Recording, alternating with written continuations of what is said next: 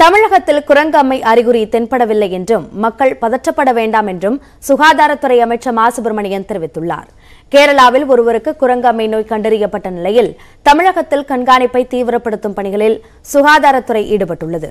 சென்னை பன்னாட்டு விமான நிலையத்தில் மேற்கொள்ளப்பட்டு வரும் குரங்கம்மை பாதிப்பு பரிசோதனை குறித்து மக்கள் நல்வாழ்வுத்துறை அமைச்சர் மா. சுப்பிரமணியன் பார்வையிட்டார்.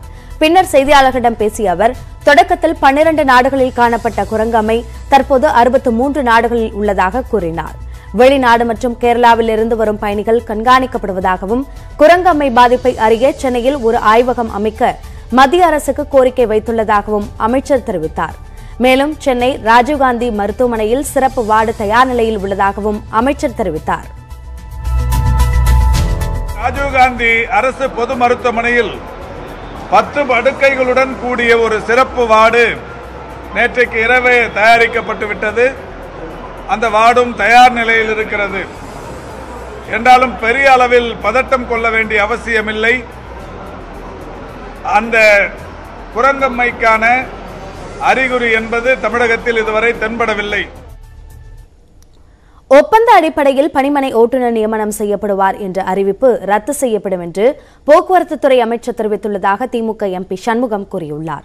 சென்னை மாநகர போக்குவரத்து கழகத்தில் ஒப்பந்த அடிப்படையில் ஐநூற்று முப்பத்தி இரண்டு பணிமனை ஓட்டுநர்களை நியமிக்க விண்ணப்பங்கள் பெறப்பட்டுள்ளன. வரும் பதினெட்டாம் தேதி டெண்டர் விடப்பட்டுள்ளது.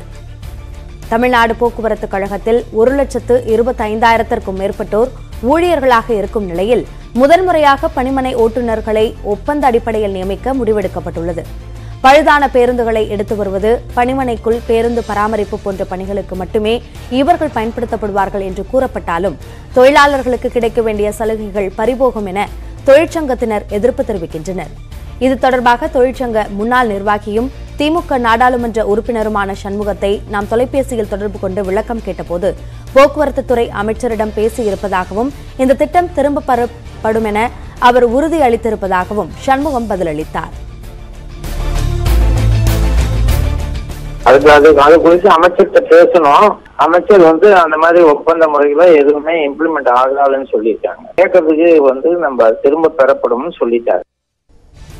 உத்தரப்பிரதேச மாநிலத்தில் புதிதாக அமைக்கப்பட்டுள்ள நான்கு வழி விரைவுச் சாலையை பிரதமர் நரேந்திர மோடி தொடங்கி வைத்தார்.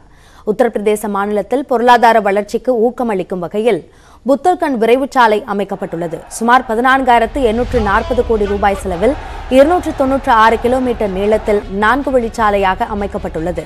சித்ரகுட் மாவட்டம் கோண்டாவில் தொடங்கும் இந்த சாலையானது பண்டா மகோபா ஹமிர்பூர் ஜலான் ஆரையா எட்டாவா ஆகிய ஆறு மாவட்டங்கள் வழியாக சென்று ஆக்ரா லக்னோ விரைவு சாலையுடன் இணைகிறது. இந்நிலையில் ஜலான் மாவட்டம் கைத்தேரி கிராமத்தில் நடைபெற்ற நிகழ்ச்சியில் புத்தல்கண்ட் விரைவு சாலையை பிரதமர் நரேந்திர மோடி பொதுமக்கள் பார பயன்பாட்டிற்காக திறந்து வைத்தார்.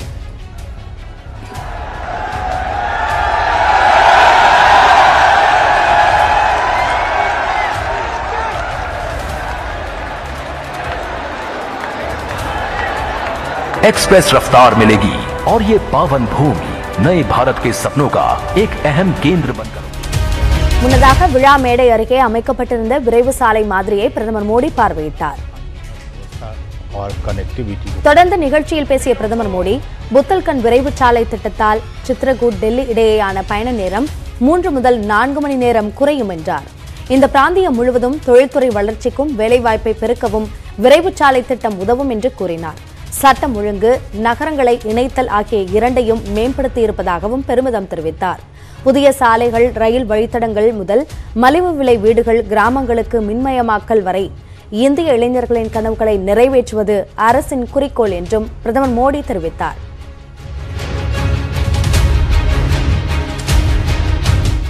அடுத்ததாக விரைவுச் செய்திகள் சிலவற்றை பார்க்கலாம். அதிமுக எம்எல்ஏக்கள் கூட்டத்தை சென்னை கிரவுன் பிளாசா நட்சத்திர விடுதியில் நடத்த முடிவு செய்யப்பட்டுள்ளது.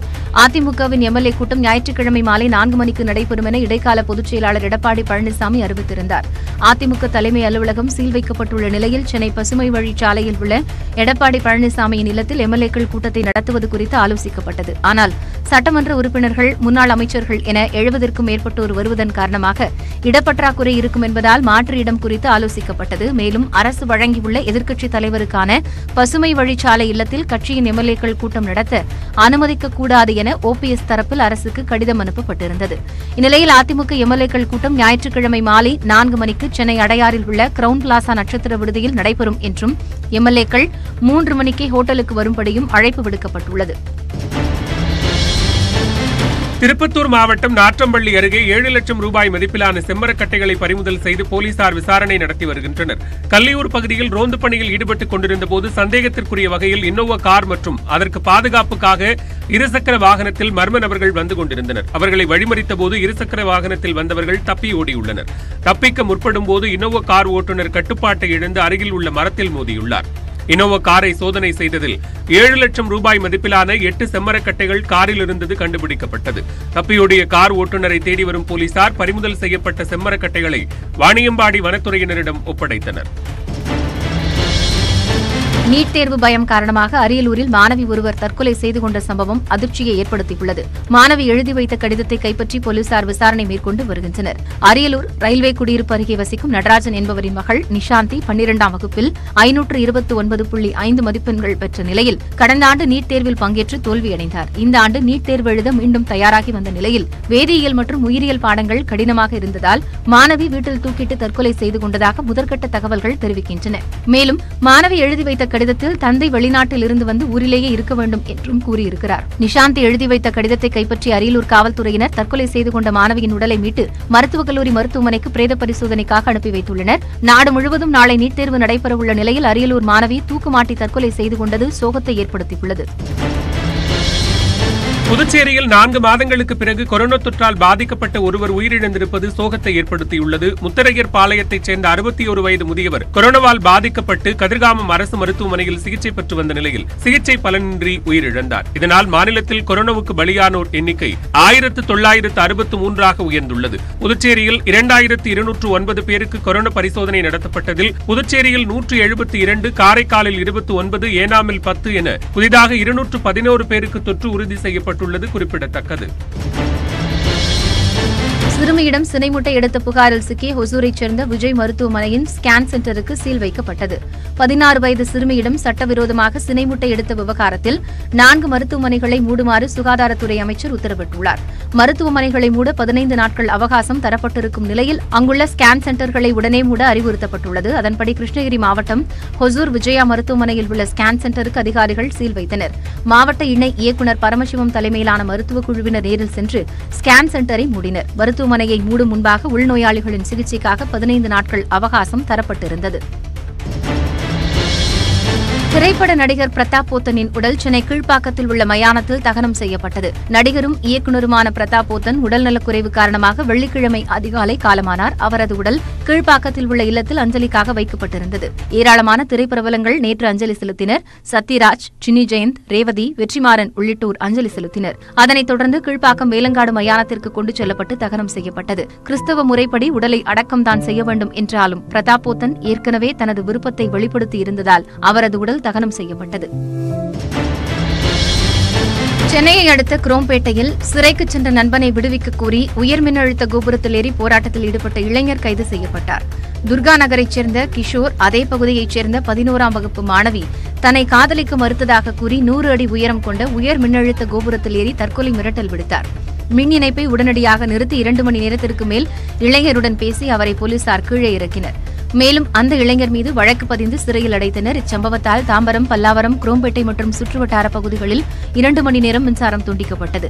இந்நிலையில் கிஷோரின் நண்பன் விஜய் கிஷோரை விடுதலை செய்ய கோரி அதே உயர் மின்னழுத்த கோபுரத்தில் ஏறி போராட்டத்தில் ஈடுபட்டார். அவரையும் இரண்டு மணி நேரத்திற்கு மேல் சமாதானப்படுத்திய போலீசார் கீழே இறக்கி காவல் நிலையம் அழைத்துச் சென்றனர். விஜயாலும் அப்பகுதியில் ஒரு மணி நேரம் மின்சாரம் நிறுத்தப்பட்டிருந்தது.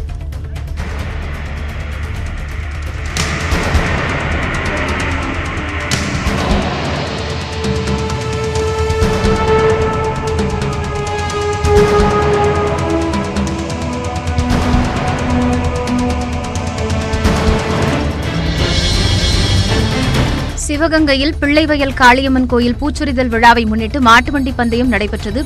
பெரிய மாடு நடுமாடு சிறிய மாடு என மூன்று சுற்றுகளாக நடைபெற்ற மாட்டுவண்டி பந்தயத்தில் முப்பதற்கும் மேற்பட்ட மாட்டு வண்டிகள் பங்கேற்று சீறி பாய்ந்தன. இந்த மாட்டுவண்டி பந்தயத்தை காண ஏராளமான பார்வையாளர்கள் சாலையின் இருபுறமும் திரண்டிருந்தனர். இதில் ஒரு மாட்டுவண்டி மற்றொரு மாட்டுவண்டி மீது மோதியதில் சாரதி ஒருவர் மாட்டுவண்டியிலிருந்து கீழே விழுந்து தொங்கிக் கொண்டே சென்று சாலையில் விழுந்தது பரபரப்பை ஏற்படுத்தியது.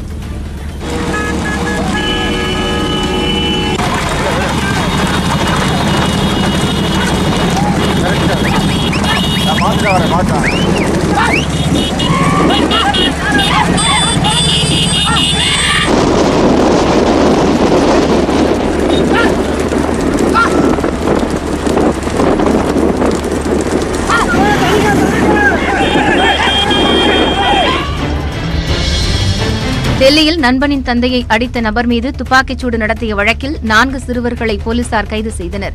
டெல்லி ஜானகிபுரி பகுதியில் உள்ள கடை முன்பாக நேற்று ஒருவர் அமர்ந்திருந்தார். அப்போது வழியாக வந்த நான்கு சிறுவர்களில் ஒருவர் அந்த நபரை துப்பாக்கியால் சுட்டுவிட்டு தப்பியுள்ளார். இதில் படுகாயமடைந்த நபர் மருத்துவமனையில் அனுமதிக்கப்பட்டுள்ளார். துப்பாக்கிச்சூடு சம்பந்தமான சிசிடிவி காட்சிகளை ஆய்வு செய்த போலீசார் நான்கு சிறுவர்களை கைது செய்தனர். விசாரணையில் நண்பனின் தந்தையை ஏழு மாதங்களுக்கு முன்பு தாக்கியதற்கு பழிவாங்கும் விதமாக துப்பாக்கிச்சூடு நடத்தியதாக சிறார்கள் தெரிவித்துள்ளனர். அவர்கள் நான்கு பேர் மீதும் கொலை முயற்சி வழக்கு பதியப்பட்டுள்ளது.